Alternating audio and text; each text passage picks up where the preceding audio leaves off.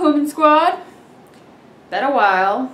I did a live stream of why my video I haven't been posting. You know the reasons why. And, you know, found out the real issue. I can't make slideshows.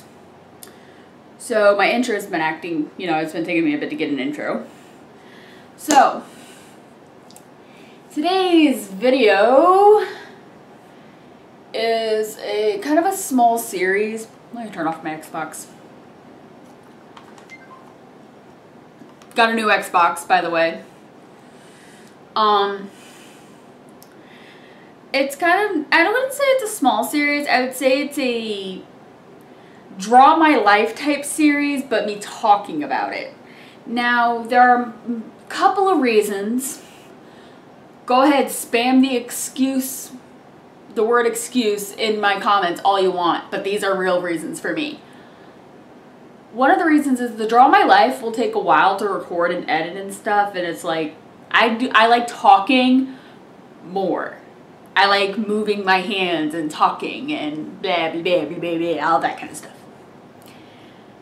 The second reason is, is there's a part of, I would say a, a chunk of my life I don't want to talk about right now until I have the courage built up to talk about it.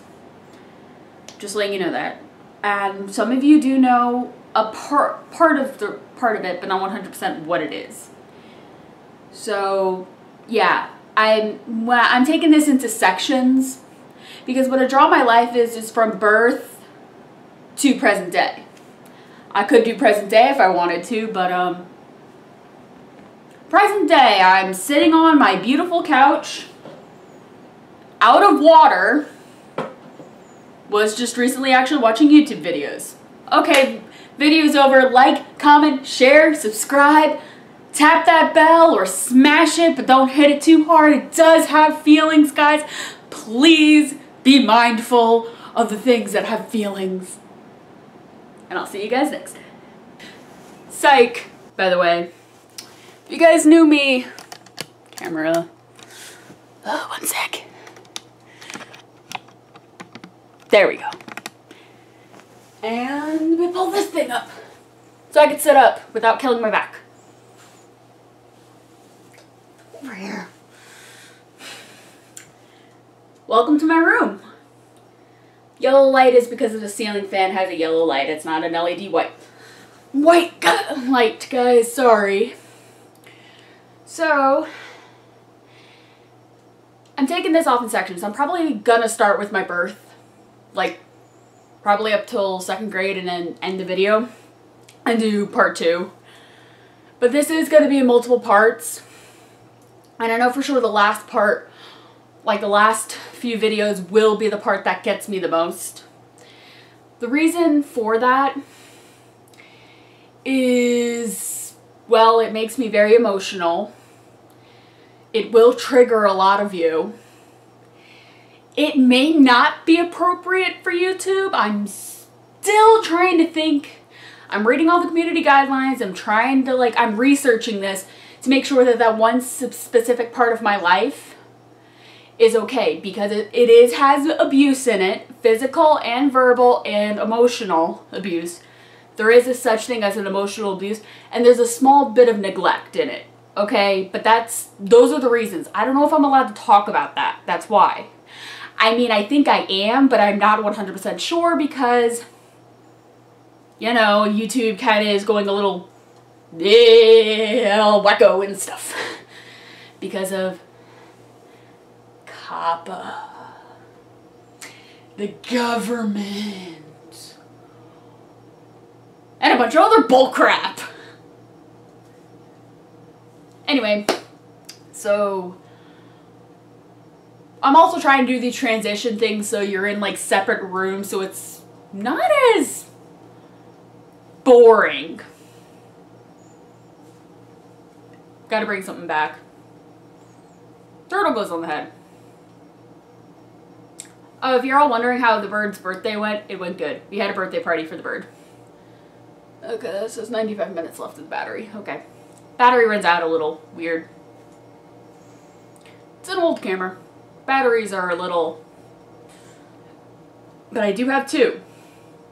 I do have two batteries, so I don't have to directly be like, oh crap, I gotta record, I have to wait an hour for the battery to fully charge, or probably two hours, then I can record.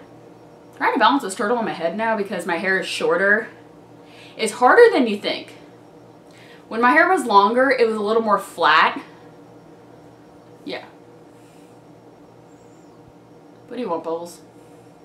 By the way, if you're new to this channel, this is Bubbles. And the reason I say if you are new is because I'm starting to slowly grow subscribers and it's not like I'm hitting like 10, 12 subscribers a day or something or a week. I've been stuck on 112 for like four months now and I just recently gained four subscribers in the past two weeks. So, yeah. There's also, I'm going to tell you, this video might get a lot longer than you expect, so I am kind of making sure that all these clips are not long. There's also another thing with these transitions. You might see the same scene over and over again, like the background mostly. I don't have a lot of places I can film. I don't think you guys actually want to see my utility room right now. It's a mess. It has Christmas decorations in it. Alright, get off. Hey, I caught him. You behave. Okay. So, let's start. Dramatic music. I'm sorry, I don't have an editor. I'm I'm the I film, I edit, and I and I do every part of my video myself. I don't have money for an editor. I have no money for a crew. Nobody wants to be my camera person because they're afraid if they talk that it'll pick, the camera will pick it up, which it will. But I just mostly need to make sure that somebody can record for me. So, yeah, okay. Back to the video. We're starting at the beginning. On September 13th, 1998 in a I wouldn't call it a town, but it's also not as big as a city, but it's not small. Well, I think back then it was small, because it has got built up over the past 21 years. Anyway, this hospital also does not deliver children anymore. I made my grand entrance into the world! Beautiful! and loud and also fat. I had to ask my father a lot of these questions, by the way, and my other family members that knew me from when I was a baby. Out of the three of us, I have an older brother and an older sister. I was the chubbiest. You can see it from here, actually. I still have, I have very chubby cheeks and dimples and stuff. Yeah. I made my grand entrance into the world, screaming and crying and probably piercing some ears. I don't know actually how loud I was when I was little. We're gonna skip to age three. Reasons? I do not know what the heck happened since then. I don't even actually know how, what happened in the hospital or anything with me. I only remember from age three to present. And I don't remember everything 100%, so all these clips might be a little missing, missing some memories. Because it was a long time ago. age three. I was a cute little dragon. I had the cutest little eyes according to everyone, and I also had a fro. Not a really thick one, but I had really curly hair that my hair did poof. My hair still does poof when it gets really long. Only it poofs wave-like and it flips a lot. Like, actually, if my side, if my, the sideburns actually grew out longer, they wouldn't go down flat. They would actually start to curve out about right, right around where my, they end right now. It's really funny. so yeah, I had a kind of a poofy hair. Anyway age three. I was a cute little dragon, had adorable little eyes. I was innocent. most of the time. I went to a small little preschool in a church. I don't know if they still do preschool there, but I knew back then they did kindergarten for a few years, and then I remember that they didn't do kindergarten anymore when I graduated from preschool. yeah.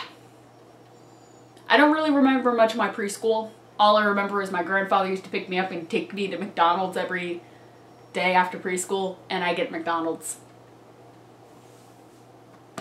Best memories ever is when food is involved. That is a great quote by me. so we're going to skip to kindergarten, which is pretty much next year. Now these videos I am going into a kind of a lot of detail, so age 4, kindergarten. I went to the local elementary school. Yay. It was also the school my brother and my sister went to.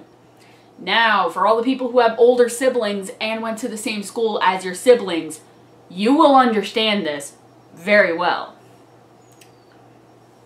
My brother wasn't the best kid in the world, but he still did good. My sister, on the other hand, straight A's, perfect, had great record.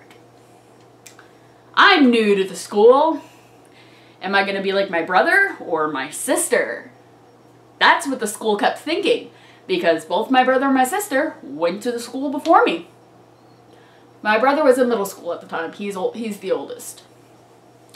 Sister was still in elementary school. Think she was in third grade. Yeah, she was in third grade. Sorry, I gotta think. I had a really interesting kindergarten teacher. Reasons why. She only liked one kid in the class. And this is my mother telling me this, okay? Ooh, excuse me. This is my mother saying this. And a lot of you know I don't get along very well with my mother. This was before all the issues with us. She would say that the teacher liked this one kid and expected every kid to be like that kid that one kid because they behaved well, they did all their classwork, they had no issue at all. And it's like, now I'm thinking about it, she expected way too much out of kindergarteners. We were four. we're a bunch of four-year-olds. What?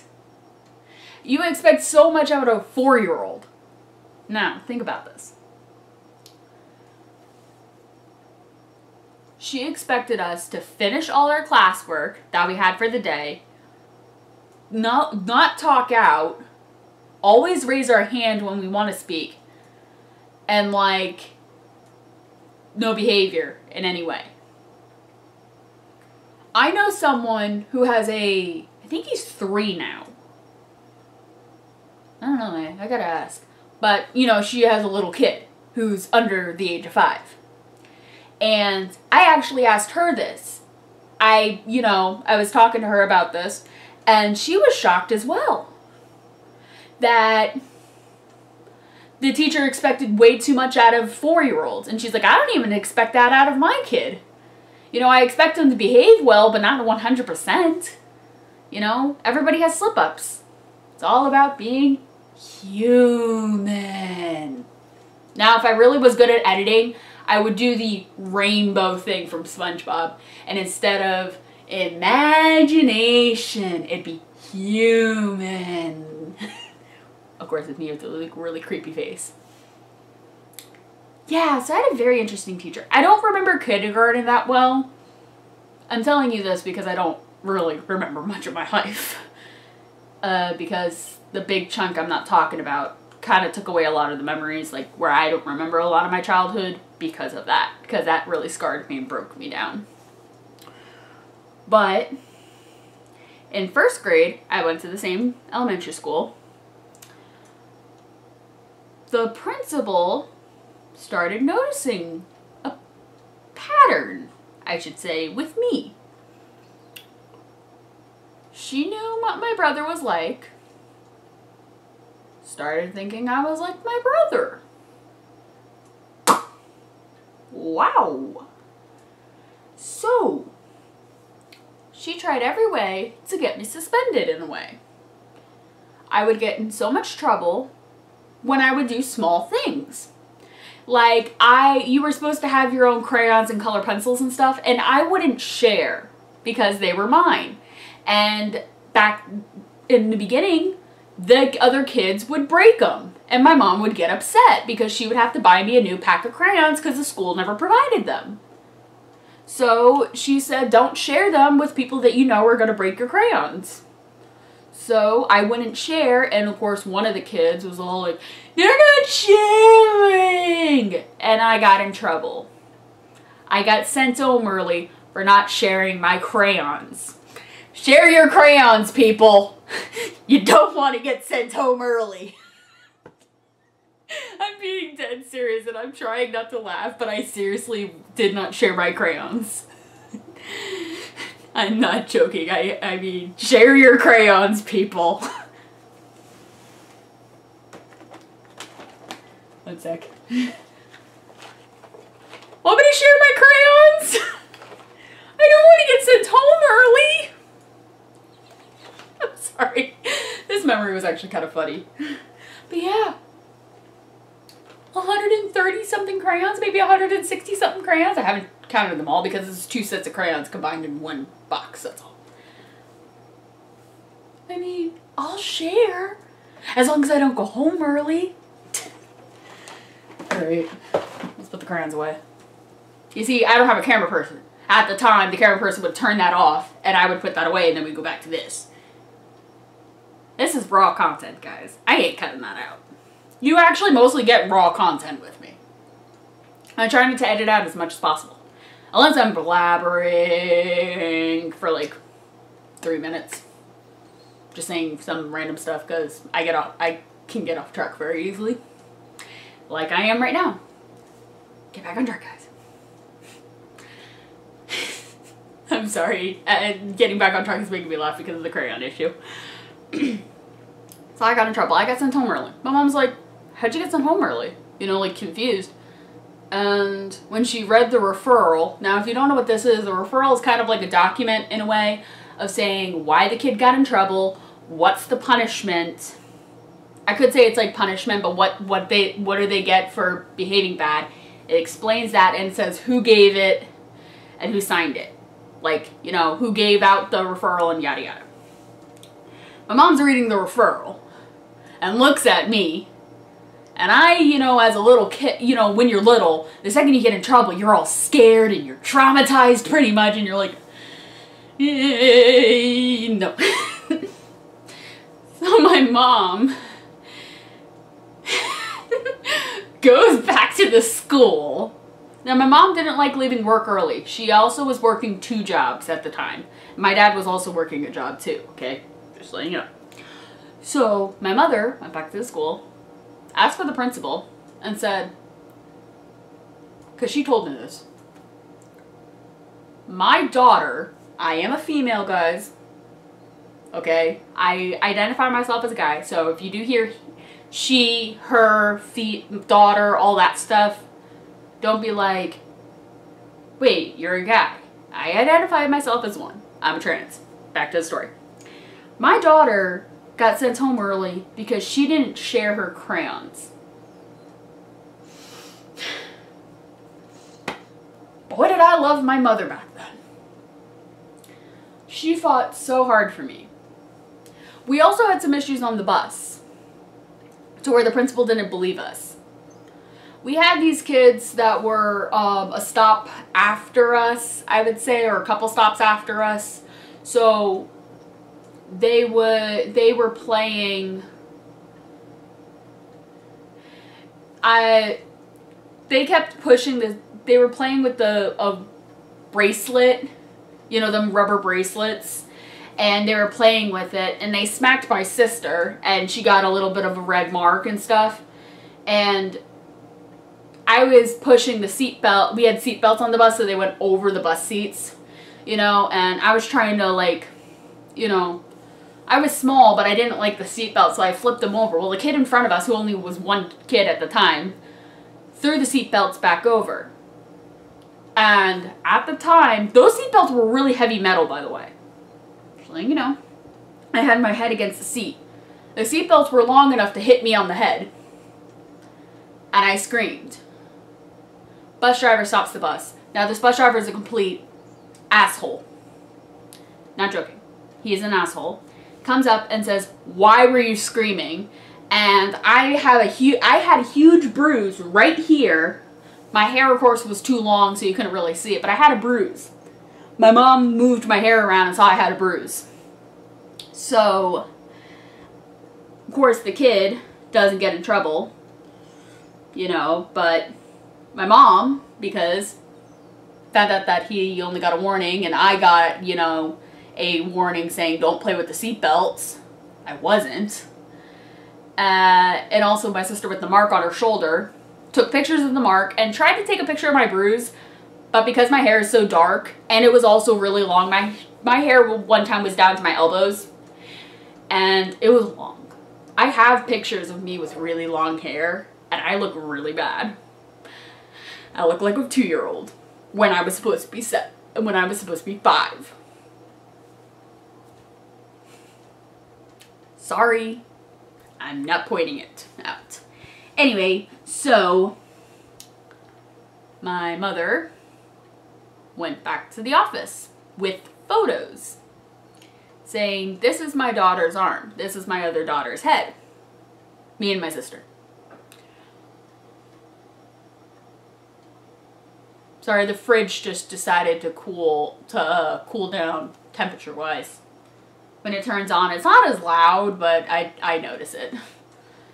So, yeah. The kid got in trouble. I don't know what he got. He was a bad kid. So, oh yeah, PJ Pante. I get these for Christmas. The kid got in trouble. Thanks to my mother. Now you're all to say, Kai, then why did your mother and you have such a bad relationship? Why do you talk so bad about her? Because the problem didn't start until middle school. That's why. So I told you it's a huge chunk of my life. Just letting you know. So, battery is starting to die. I mean, it was just at 95% when I started in here, and the video's only been on for 20 minutes recording. I'll be back with a new battery. Welcome back. Sorry I had to change the battery, and I'm sorry if the lighting is two different shades. I will warn that like in the beginning of the video. But this part I'm using natural sunlight, and in that room, because the way my layout of my house is, I don't get any sun in that room around this time. So I have to rely on my um, ceiling fan. Not too good. Not good at all. So it gives off the yellow light, which really shows off my face in a very interesting way. Not joking. Not good.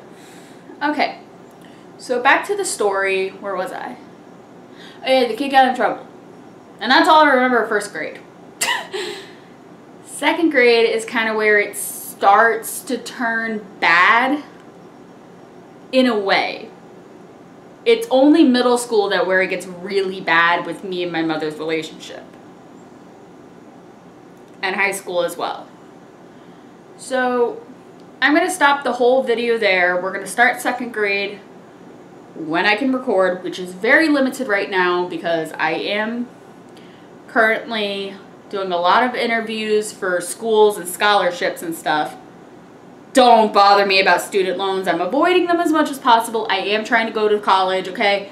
So I'm kind of doing stuff with universities and stuff right now and, well, the local college right now because of personal things. But yeah. I'm not sick. I just have a really dry throat right now. But I will see you guys later. Bye. Also, like, comment, share, and subscribe. Don't forget to hit that bell, but not too hard because it has feelings. I mean, every bell that's hit and gets sad breaks my heart so much. Also, comments if you want to actually see more. I mean, no matter what you guys say, I'm probably going to post more, but it's probably going to take a while. This is going to take a lot of editing. And you'll understand why. I do everything by myself. And you all know why because of the beginning of this video. Bye. Have an awesome full day. See, here's my arm. About to hit the, about to actually hit the stop button because I'm by myself. I've always liked to play with fire.